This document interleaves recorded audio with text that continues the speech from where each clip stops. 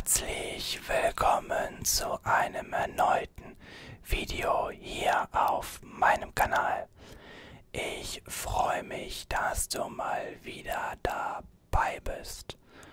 Heute gibt es das angekündigte FAQ oder QA, wie auch immer du es nennen möchtest. Ihr konntet mir unter einem der letzten Videos Fragen stellen. Leider kann ich nicht alle Fragen jetzt beantworten, weswegen du jetzt die Aufgabe hast, hier drunter gerne weitere Fragen zu stellen, beziehungsweise wenn du heute nicht drankommst mit deiner Frage, sie hier einfach nochmal zu stellen. Und dann wird es in der Zukunft nochmal ein neues QA-Video geben. Okay. Ich würde sagen, wir fangen ohne große Umstände jetzt auch einfach an. Ich werde die einfach entweder unten oder oben einfach auch mal einblenden. Und dann gehen wir die Fragen gemeinsam einfach mal durch. Frage Nummer 1 kommt von Ranger77.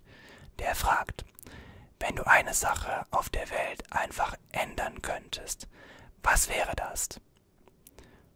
Nun, das ist eigentlich eine ziemlich schwierige Frage, aber ich wüsste tatsächlich direkt eine Antwort.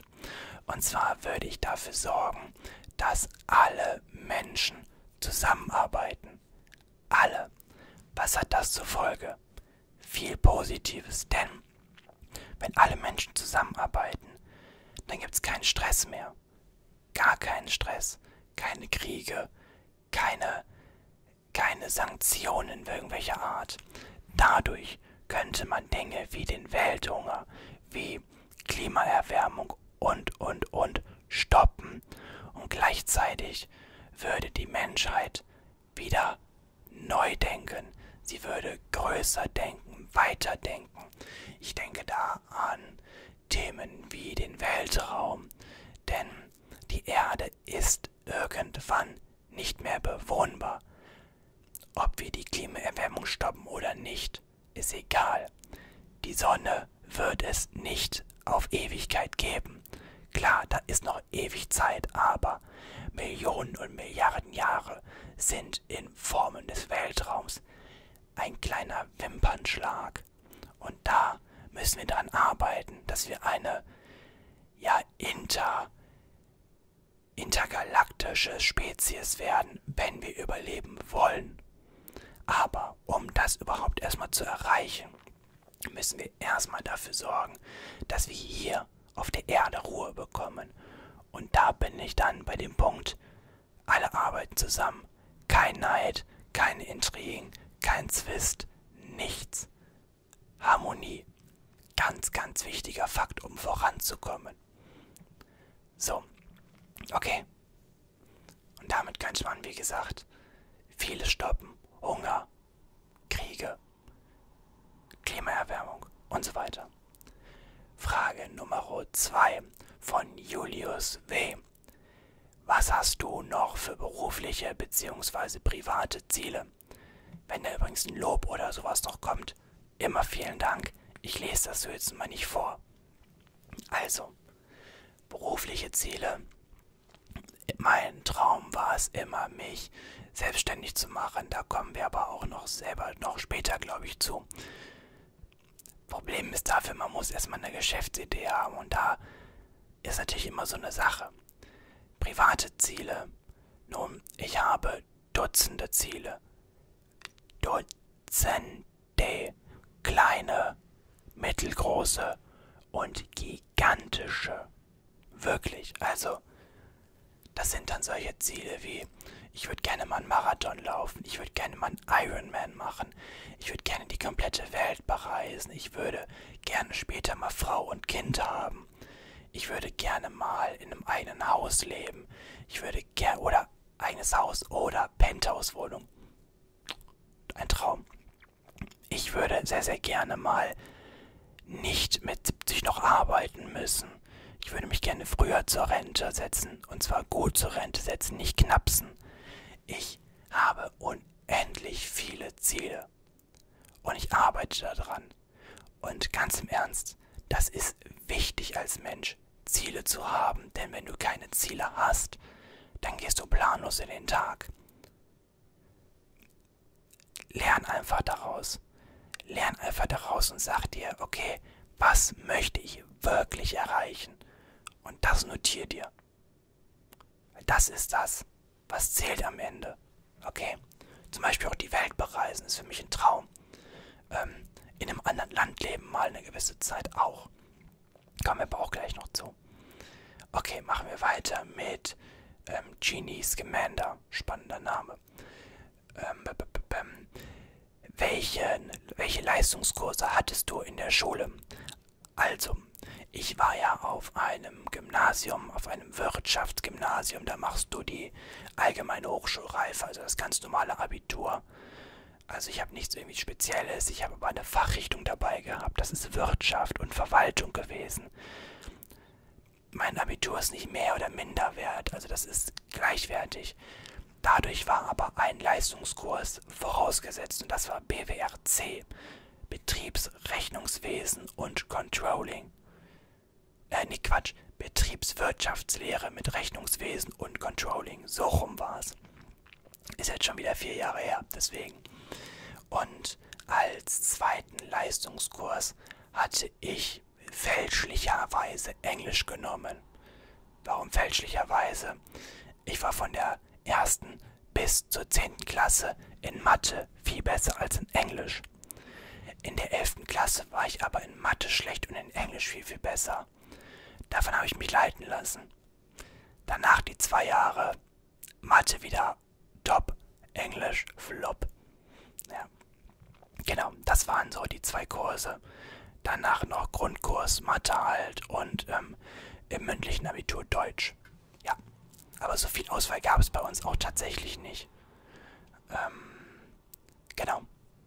Nächste Frage. Mr. Cube. Hi. Äh, wie läuft es mit dem Studium? Oder bist du schon fertig? Ich bin nicht fertig. Das dauert auch noch, weil ich dann nachher noch einen Master machen möchte, beziehungsweise machen werde. Das Studium läuft sehr gut. Ich konnte im letzten Semester meinen Notendurchschnitt ein wenig anheben, also verbessern. Ich bin damit immer noch nicht zufrieden, aber das liegt auch daran, dass ich die ersten Semester sehr, sehr habe schleifen lassen. Umstieg von Schule auf Uni und alles, alles neu. Naja, gut. Aber es läuft gut. Und bald steht dann die Bachelorarbeit an und dann geht es in den Master. Dafür brauchen wir einen gewissen Notendurchschnitt. Da komme ich aber locker dran. Also da müsste es jetzt schon echt mit dem Teufel zugehen, wenn ich das nicht schaffen würde. Da glaube ich jetzt einfach mal dran. Die nächste Frage. Ups, ich muss hier weitermachen. Nein, falsche Richtung. Ähm, Wiki 9575. Wenn du dich in ein Tier verwandeln und es für immer bleiben müsstest, in was würdest du dich verwandeln und warum? Jetzt bin ich ehrlich, ich habe nach der Frage mal eben kurz was gegoogelt und deswegen habe ich eine spezielle Antwort. Ich werde ein Riesenschwamm. Warum? Relativ einfach. Der Riesenschwamm wird bis zu 10.000, 10.000, das ist eine 10 und drei Nullen dahinter, Jahre alt. Und wenn ich mich schon aussuchen kann, dann wäre ich doch bitte das, wo ich der auf, am längsten auf der Erde sein möchte. Oder werde das, wo ich am längsten auf der Erde sein kann. Riesenschwamm. Was der kann? Keine Ahnung. Aber der lebt lange. Nehme ich. Äh, Explosion Gaming.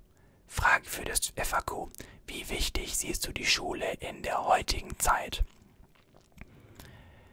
Okay, also Schule ist im Grunde genommen was Gutes und was Wichtiges. Aber, aber, das Ding ist, in der Schule wirst du dazu ausgebildet, ein guter Mitarbeiter zu sein, der Routine zu folgen, die es seit hunderten Jahren gibt und der man folgen sollte. Nicht mehr, aber auch nicht weniger. Und das das ist vollkommen okay. Es ist wichtig, gewisse Sachen zu lernen. Deutsche Sprache, englische Sprache, Geschichte, ein wenig Religion ist auch nicht verkehrt. Physik, Biologie, alles vollkommen okay. Grundlevel, wichtig.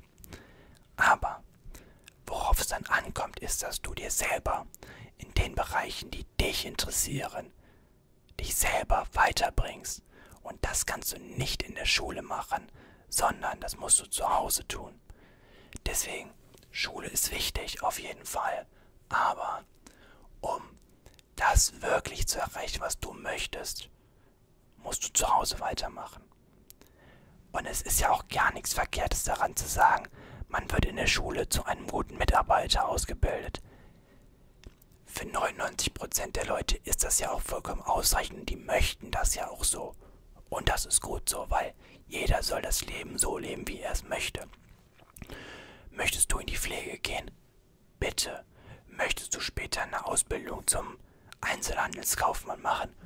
Go. Möchtest du in die Tourismusbranche? Go. Möchtest du studieren? Go. Wie jetzt in meinem Fall. Aber ich persönlich bin halt der Meinung, ich möchte mehr. Ich möchte weitergehen. Eben wie zum Beispiel Arbeitgeber vielleicht mal werden, ein eigenes Unternehmen gründen und so weiter. Das wird einem absolut nicht beigebracht. Und es fehlen halt auch viele Dinge aus der realen Welt dann im Endeffekt. Steuern, Versicherungen und so weiter. Das musst du dir zu Hause beibringen. Du musst dir auch beibringen, wie du zu Hause wirklich alleine mal leben kannst. Also, ne, die wird dir nicht beigebracht, wie du dir morgens den Wecker stellst oder abends den Wecker stellst oder wie du dir einen Kaffee kochst, bügelst oder so weiter. Schule ist wichtig. Aber du musst selber daran arbeiten, dich selber weiterzubilden. Okay. Ich hoffe, das klang nicht irgendwie zu komisch. Ähm, Marius Focken. Focken. Ist das so? Wird das ausgesprochen? Was, was sagst du momentan zu Schalke und was ist deine Bundesliga-Prognose für diese Saison? Wer wird Meister? Wer landet auf Platz 1 bis 6 und auf Platz 16 bis 18? Also den hinteren Teil habe ich ja schon soweit gemacht in einem Video mal. Momentane Situation zu Schalke. Ich möchte da gar nicht viel zu sagen. Ich glaube, es wird auf meinem Zweitkanal bald ein Video dazu geben. Ein ausführlicheres Video. Und dann schauen wir mal weiter ähm, CR, also C.R. Wer auch immer da gemeint ist. Als ich heute erfahren habe, dass die Fitnessstudios schließen müssen, musste ich an dich denken. Was machst du denn jetzt? Ja, das habe ich tatsächlich mehr als einmal gehört, denn wie ihr vielleicht in meiner Instagram-Story immer gesehen habt, war ich eigentlich immer so fünf bis sechs Mal die Woche im Gym. Und meinem Herzen wurde da ein Strich durch die Rechnung gemacht, in dem die Fitnessstudios auf unbestimmte Zeit, beziehungsweise ja erstmal für den November, aber ich glaube da nicht dran, dass die im Dezember wieder öffnen werden, zugemacht sind. Was mache ich? Ich gehe dreimal die Woche draußen im Wald joggen. Unterschiedlich 6, 8, 9, 10, 11 Kilometer. Und mache zweimal hier drin Homeworkouts. Alles Mögliche, also von von Hampelmännern, Liegestütze, Dips, ähm, an der Wand, also Wandsitzen, Kniebeugen und ich habe mir jetzt auch Kurzhanteln bestellt. Das bedeutet, ich kann jetzt schon deutlich mehr wieder jetzt machen in Form von ähm, Bizeps Curls und ja, so ein bisschen Rudern und alles. Das mache ich hier noch zu Hause. Aber trotzdem, ich vermisse das Gym. Okay, machen wir weiter ähm, Liam und Ole. Möchtest du dein eigenes Unternehmen gründen oder studierst du, um ein anderes Ziel zu erreichen? Und wenn ja, welches Ziel wäre das? Das ist genau das, was ich schon angesprochen hatte. Ja, mein großes Ziel wäre auf jeden Fall, irgendwann mal ein Unternehmen zu gründen. Auf jeden Fall. Welche Branche? Da bin ich selber so in meiner Findungsphase momentan. Und deswegen, das ist auf jeden Fall ein Traum von mir, definitiv. Eigener Chef sein, das ist. Ich bin, ich bin kein Typ, der gerne Anweisungen annimmt, muss ich euch ganz ehrlich sagen. Da habe ich, Da habe ich große, große, große, große Probleme mit. Also wirklich. Okay, nächste Frage. Die nächste Frage kommt von ähm, Jew Drive, denke ich mal. Hörst du dir selber oft ASMR an zum Entspannen? Wenn ja, welche Trigger gefallen dir am meisten? Ich schaue mir ASMR an, ja, aber seltener, deutlich seltener, weil die Zeit dafür fehlt. Und Trigger, ich mag Fingerflattern total gerne. Und Tapping auf Glasobjekten oder auf Verpackungen so. Äh, ich habe jetzt keins hier, aber ja. Ähm, Leonardo BMG bzw. Leonardo Borussia Mönchengladbach, denke ich mal. Was ist deine Lieblingsfreizeitbeschäftigung? Nun, Freizeit ist schwierig immer, da ich YouTube habe. Ich habe die Uni und dann auf jeden Fall mal Sport machen. Ganz wichtig ist für mich ultimativ. Aber dann kommt wahrscheinlich Fußball. Kein Spaß, ja. Ist natürlich jetzt momentan schwierig, aber normalerweise bin ich ja bei jedem Heimspiel meiner Lieblingsmannschaft im Stadion, also Schalke ja bekanntermaßen. Und ja, das fehlt mir momentan natürlich. Und sonst halt lesen, ähm, YouTube schauen natürlich auch so in gewissermaßen. Meine Freunde sind mir ultimativ wichtig. Und auch einfach raus.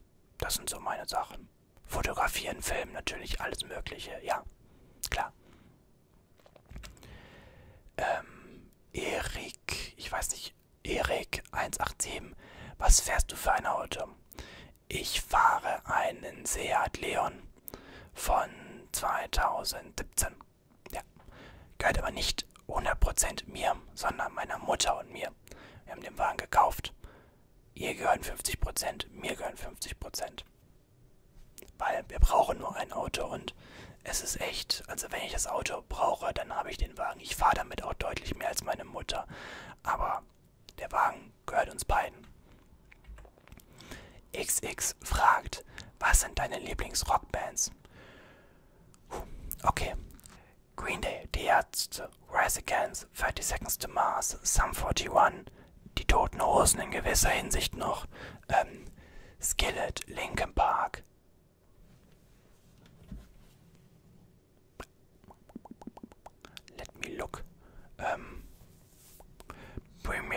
Horizon, ähm, die Broilers, ist Punkrock halt. Ähm, Ärzte habe ich gesagt. Donuts, Foo, Foo Fighters, ähm, Green Day auf jeden Fall ist die absolute Lieblingsband. Ähm, Skillet hatte ich gesagt, Linkin Park hatte ich gesagt. Ähm, Nirvana, Queen, Rise Against hatte ich gesagt. SDP ist keine Rockband. Ähm, 30 Mars hatte ich gesagt. Ja, das sind so die Bands. Ich bin halt absoluter Rockhörer, also ich höre wenig anderes. Ich höre dann nochmal sowas wie Alligator Trailer Park und, ähm, oh, ich weiß nicht, wie man die ausspricht. Nefex, auf jeden Fall ist Motivationsmusik. Contra K auch. Sowas. Aber meistens ist Rock. Und absolut oben ist Green Day. Voll. Äh, oh Gott, wie spricht man den Namen aus? Salio 02. Sorry, wenn ich deinen Namen komplett falsch ausspreche. Ähm, du hast doch sicherlich was von den Schalke Talks von Gamer Brother mitbekommen. Wie stehst du dazu? Ich muss gestehen, ich schaue mir Gamer Brother nicht wirklich an, aber die Schalke Real Talks schaue ich mir alle an. Und ich muss sagen, er hat bis zu einem gewissen Maße vollkommen recht. Beziehungsweise eigentlich hat er in 99,99% der Fälle recht. Ich bin persönlich auch ja ein Fan, der lange Zeit gesagt hat, lass den EV. Mittlerweile bin ich kolossal dagegen, weil es bringt einfach nichts. Steigt dieser Verein ab, steigt nicht direkt wieder auf, dann kacken wir ab. Cottbus, Alemannia Aachen, dieses Niveau. Nicht wie Hamburg zwei, drei Saisons unten bleiben und dann wieder hochkommen. Nein, wir machen den Abgang von 2001 fast Meister bis 2021, 22 dritte Liga. Beziehungsweise Schalke wäre ja auch 2-7, 2-8 fast Meister geworden. Also es ist eigentlich noch viel schlimmer, wenn man mehr ehrlich ist. wir haben das verpasst. Aber wie gesagt, anderes Video. Und ja, mitbekommen und finde ich gut. Mit David Wagner fand ich es ein bisschen krass, auch wenn ich auch der Meinung war, er musste gehen, aber ja, war vielleicht ein Ticken Hardcore, aber ist halt Entertainment auch. Ähm, XX007 Girl XX. Bist du eigentlich mal sitzen geblieben? Sitzen geblieben. Ich habe wiederholt freiwillig die 11. Klasse, aber auf einer anderen Schule. Denn ich war erst im Gymnasium auf einer anderen Schule und das war zum Kotzen dort.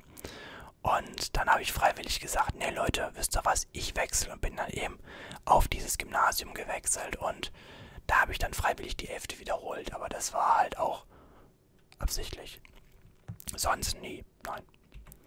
Ähm, Love is Trust in You. Frage fürs FAQ. Zwei Stück sogar. Wie würdest du dich in drei Worten beschreiben? Engagiert, motiviert, ehrlich. Ja, wobei engagiert und motiviert ist irgendwo das gleiche fast. Also es geht in irgendwie motiviert, ehrlich. Hm, ja, was könnte man jetzt noch nehmen? Liebenswert. Ich bin, glaube ich, ganz liebenswert, also hoffe ich. ähm, woher holst du dir die Anregungen für deine Videos? Die kommen meistens tatsächlich aus dem Sport. Wenn ich laufen bin, ob jetzt im Fitnessstudio oder ähm, draußen. Irgendwann nach einem Kilometer auf zwei, dein, dein Körper hat sich eingespielt, deine Atmung hat sich eingespielt und dein Geist driftet ab. Und das ist so der Moment, wo mir Videoideen kommen. Und dann muss ich beim Laufen auf mein Handy in die Notizen mal eben kurz ein, zwei Stichpunkte schreiben. Hab mich zehnmal vertippt. Sieht komplett unordentlich aus, aber da kommen mir viele, viele, viele, viele, viele meiner Ideen. Also wirklich 99% der Ideen sind beim Sport tatsächlich. Ja. Ähm, RVX, Wavix oder hast du Aktien? Wenn ja, welche? Wie sieht es momentan aus bei dir? Also, ich habe Aktien, ja. Ich will euch jetzt nicht mein genaues Portfolio sagen, weil das macht irgendwie auch für euch keinen Sinn. Aber ich kann euch ein paar davon einfach mal nennen. Lasst mich kurz gucken. Mein Portfolio läuft übrigens sehr, sehr gut. Ich bin im Gewinn. Das ist auch ganz gut so. Das sollte es auch sein. Ich besitze unter anderem McDonald's, Apple, Visa, Coca-Cola, Airbus, Reality Income Corporation, Microsoft. Ja, das sind so ein paar. Und Boeing. Das sind so ein paar der Aktien. Aber ich achte da auch sehr stark darauf, nicht zu überlagert zu sein und diversifizieren. Immer wichtig. Ja. Äh, SL8 SL8 eSports oder whatever. Wie groß bist du? Ich bin ein bisschen über 1,90. Genaue Zahl weiß ich gar nicht, aber 1,90, 92, 93, sowas in dem Schnitt. ASMR ist Beste. Wie lange willst du noch YouTube machen? Hab mir da jetzt kein genaues Ausstiegsdatum überlegt, aber ich bin 24, also ich kenne YouTuber, die sind 60 und machen das noch. Who knows? Okay, und die vorletzte Frage. Basti for President. Warst du gut in der Schule? Hat es dir in der Schule gefallen? Ähm, gut in der Schule. Naja, ich habe meinen Realschulabschluss mit 2.0 gemacht und dann mein Abi mit 2.9. Was jetzt im Nachhinein eine absolute Schande ist, weil ich weiß genau, dass das hätte viel, viel, viel besser sein können. Ich aber zwei Jahre einfach nichts gemacht habe. Ist einfach so. Hat sie in der Schule gefallen. Ja, war okay. Hatte gute Leute da. Äh, und Jew Snow. Wenn du nicht in Deutschland leben würdest, wo würdest du gerne leben? Ich glaube in den USA tatsächlich. Das Land der unbegrenzten Möglichkeiten reizt dann doch irgendwo schon. Vielleicht momentan nicht mit Corona, aber sonst ja. Wobei ich auch das, das Vereinigte Königreich, insbesondere halt England, sehr, sehr verlockend finden würde. Oder tatsächlich auch ähm, Dubai. Einfach weil wenn, es kommt drauf an, als was du arbeitest. Wenn du natürlich da einen Job brauchst, no chance. Aber wenn du zum Beispiel Unternehmer bist und du kannst von überall arbeiten, ist schon geil. Aber wenn du da arbeiten musst, mm -mm. weil da ist, ist schwierig, weil das ist halt, es sind halt viele Leute dahin gekommen, die für weniger Geld arbeiten und dadurch sind die Löhne halt sehr, sehr stark in den Keller gegangen und das ist natürlich nicht gut und man sieht dann auch, wenn man außerhalb so ein bisschen von Dubai ist, dass das Ganze dann doch schon deutlich runtergekommen ist und das ist natürlich nicht schön, ganz klar. Aber ja, das sind so meine Ideen. Und das war's auch für das heutige QA. Ich hoffe natürlich, dir da draußen hat es gefallen. Wenn ja, dann lass es mich doch gerne wissen. Und dann freue ich mich auf deine Kommentare und wünsche dir jetzt noch einen schönen Morgen, Mittag oder auch Abend. Und wir sehen uns hoffentlich beim nächsten Video. Haut rein. Ciao.